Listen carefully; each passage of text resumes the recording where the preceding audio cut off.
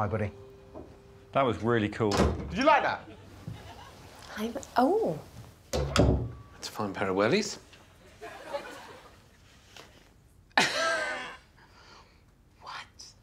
Film the most thrilling 30 second sequence wearing the welly cam. Oh, is that a camera? You have 30 minutes. Your time starts now.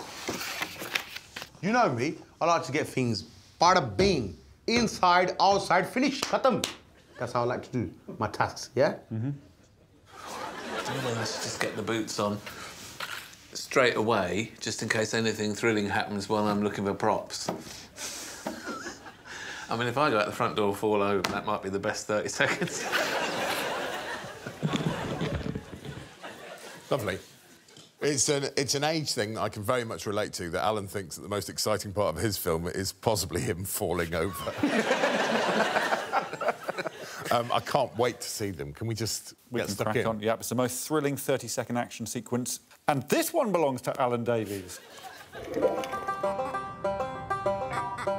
So nice of Alex to let us have a little boat trip, Victoria. Well, down there I can see, oh, giant lizards. Oh, that's amazing. What? Hang on a sec. What? Oh, how terrifying.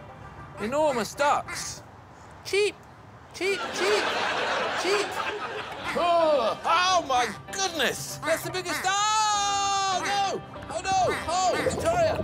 Can you speak? No, I'm underwater. Oh! Oh, what a terrifying creature.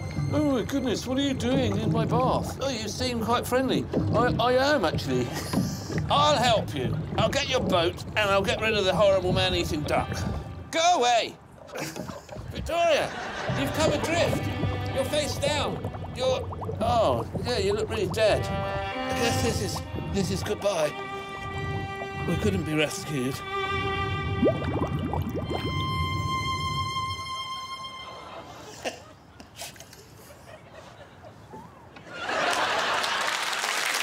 Great filmmaking. Very. It, it is great filmmaking. You know, you could argue that film's quite profound in, in many ways, and then there was certainly a very involved narrative in which I think Victoria perished. It was I don't Victoria. that was, was that meant to be me? No, that's just. Yeah, yeah, it's you, yeah.